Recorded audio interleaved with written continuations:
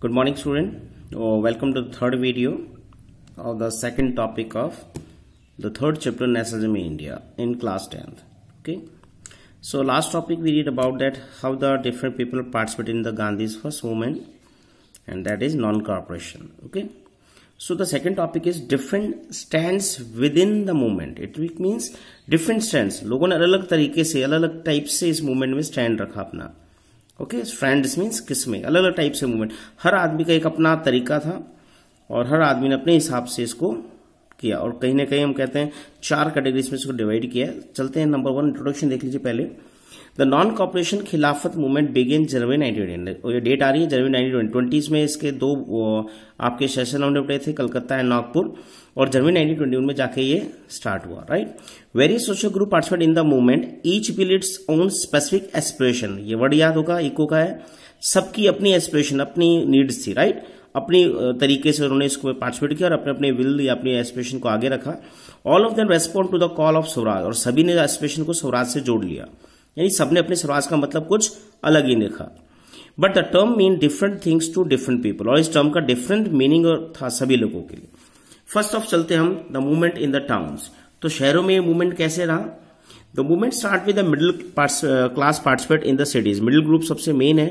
बताया था सोसाइटी का मेन पार्ट है। तो सिडीज में इन्होंने इसको लीड किया and thousand student left government colleges controlled schools and college headmaster teacher resign and lawyer gave up their legal practice जो गांधी का प्रोग्राम था उसको फॉलो किया। सबने इन गवर्नमेंट से रिलेटेड जो ब्रिटिश रिलेटेड जितने भी संस्थाएँ उनको छोड़ दिया। द काउंसिल इलेक्शन पर बाइकोटेड जो गांधी का बड़ा एक था, जिसका कुछ उन्होंने अपोज किया था। काउंसिल इलेक्शन होने थे उसको बाइकोट किया गया। प्रोविंसीज एक्सेप्ट मद्रास इसको नोट लेना ये एनटी से बहुत बड़ा क्वेश्चन आया।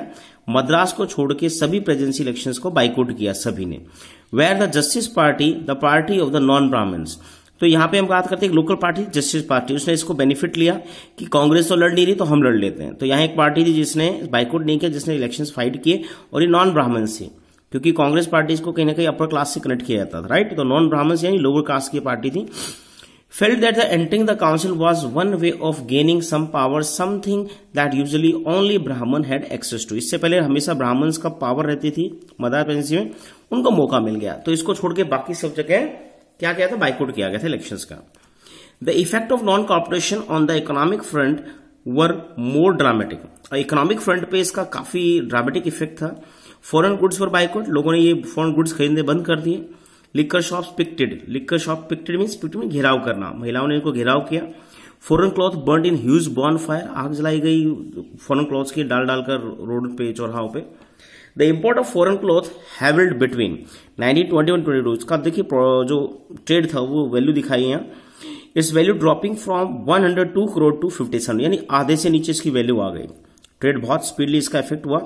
In many place merchant and traders refuse to trade और बहुत से मर्चेंट ट्रेडर्स ने इसके ट्रेड को रेफ्यूज कर दिया, उसको बेचने से मना कर दिया। एंड फॉरन गुड्स और financial foreign trade as the boycott movement spread the people began discarding imported cloth तो लोगों ने इम्पोर्टेड क्लोथ को रखना या इसको यूज़ करना बंद कर दिया wearing only Indian ones and production of Indian textile means handlooms went up और इसका फ़ायदा इंडियन टेक्सटाइल्स को मिला, और उनमें हम कहते हैं इंडियन टेक्सटाइल्स और जो हमारा हैंडलूम है, जो हाथ से बना हुआ कपड़ा था, उसको कहीं ना कहीं बेनिफिट मिला। लास्ट पैरा देखते हैं इस टॉपिक का, कैसे ये वापस वापस यहाँ से कैसे खत्म हुआ, बहुत स्लो डाउन हुआ।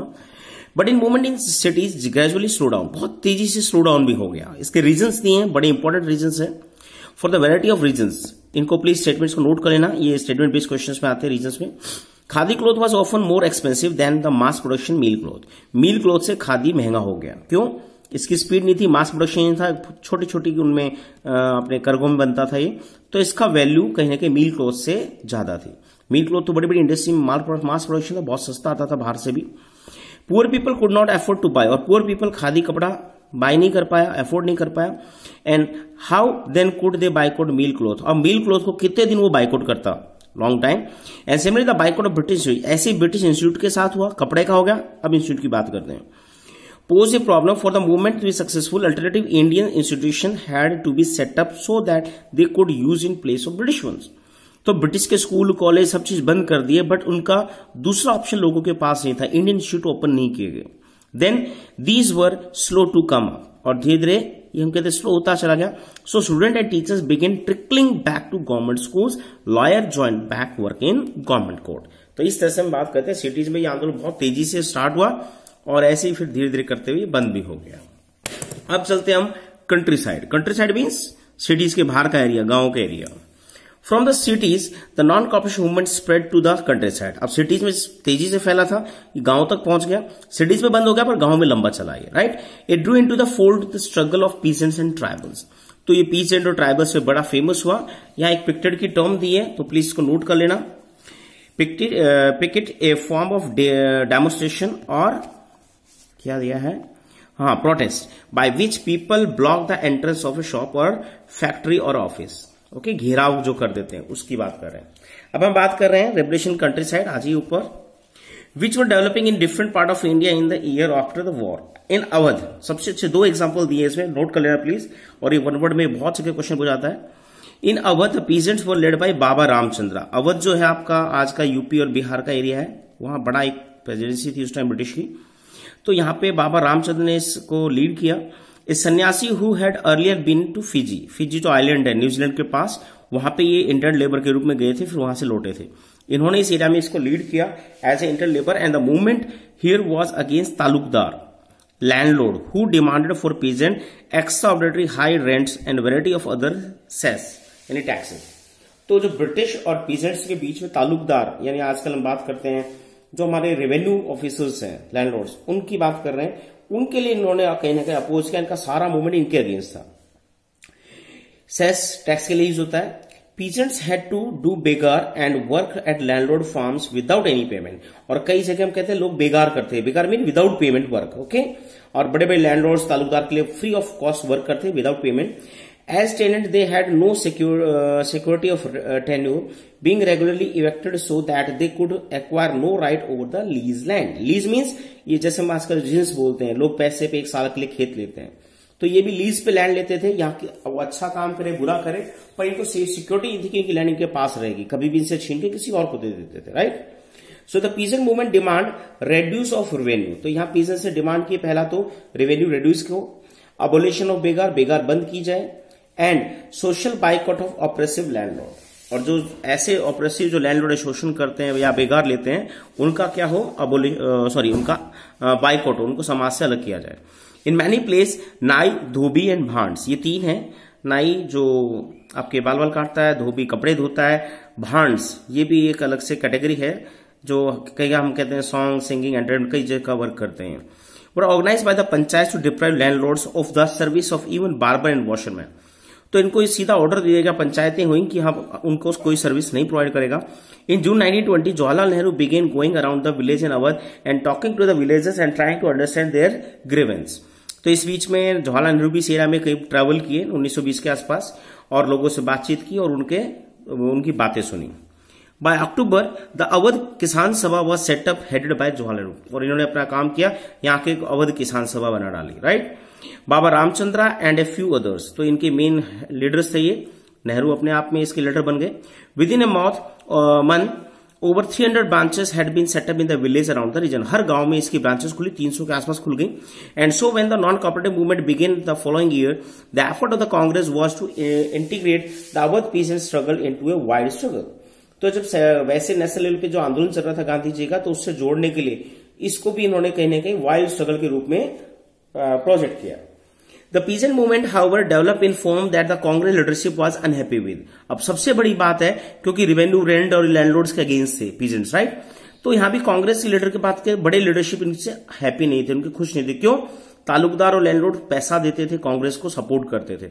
As the movement spread in 1921 the house of taluqdar and merchants were attacked तो जब ये मूवमेंट बड़ा हुआ तो थोड़ा वायलेंट भी हुआ और तालुकदार इनके ऊपर अटैक भी हुए, इन मर्चेंट्स पे अटैक हुए। बाज़ार लूटे गए the grain hoard the taken over and many place local leaders told peasant that Gandhi ji had declare that no tax were to be paid in land to be redistribute among the poor Gandhi ji के विचार थे कि हाँ freedom के बाद ऐसा कुछ होगा तो लोगों ने भी मान लिया कि हाँ स्वराज आ रहा है तो इनके लिए स्वराज का मतलब यही था, दो चीज़ें थी, इनको प्लीज़ नोट कर लेना। पहला था नो टैक्सेस कि कोई टैक्स नहीं लेगा आपसे राइट और दूसरा था redistribution among the poor land क्या होगी? रीडिस्ट्रीब्यूट होगी, दोबारा बढ़ जाएगी। तो लोग फ्री हो गए। The name of the Mahatma Gandhi was being involve to sanction all action in the expression और सबके पीछे महात्मा गांधी का नाम जोड़ दिया गया। ठीक है? ये तो हमारा पहला मूवमेंट है, रामचंद्र का कंट्री साइड नीचे एक बॉक्स दिया है सोर्स नंबर बी में। इसमें six seven nine twenty one का एक इंसिडेंट दिया है। United province fire the peasant near the Raebareli Raebareli में Jawahar Nehru wanted to go Jawaharlal Nehru वहाँ जाना चाहते थे। The place of firing but was stop by police and agitated and angry Nehru address the peasants who gathered around him this is how the latter describe in meeting तो उन्होंने अपनी, जहाँ वो उनको रोक दिया था ब्रिटिश ने रोक दिया था जाने से पहले ही तो उन्होंने जहाँ वो रोके गए थे, वहीं से उन्होंने अपना स्पीच देके वो वापस लौट गए थे। ठीक है? बेगार का ऊपर एक टर्म दिया है। That is labour that villages were force to contribute without any payment okay बिना पेमेंट के जो जॉब करते हैं। चलते हैं नेक्स्ट वन इसी में एक सेकंड हमारा एक मूवमेंट और दिया है कंट्री साइड में। ट्राइबल्स का पहला तो पीजेंट्स का हो गया, अभी किसका है? ट्राइबल्स का सेकंड टॉपिक है। Tribal peasants are interpreted the message of Mahatma Gandhi and the idea of swaraj in yet अंदर वे यानी ट्राइबल से स्वराज का मीनिंग कुछ और लिया। In the Gudem hills Andhra Pradesh for instance military guerrilla movement spread in early 1920 तो गुडम hills जो है, आंध्र प्रदेश में, वहाँ पर ये मिलिट्री गुरिल्ला मूवमेंट स्टार्ट हुआ। इसको प्लीज़ नोट करना। इन्होंने अपनी छोटी छोटी टुकड़ियाँ बना ली आर्मी टाइप से और उन्होंने मूवमेंट स्प्रेड किया और थोड़ा वायलेंट मूवमेंट था। Not a form of struggle that the Congress could approve Congress तो वायलेंस वायलेंस नहीं चाहती थी बट इन्होंने इसमें थोड़ा वायलेंस भी एड कर दिया।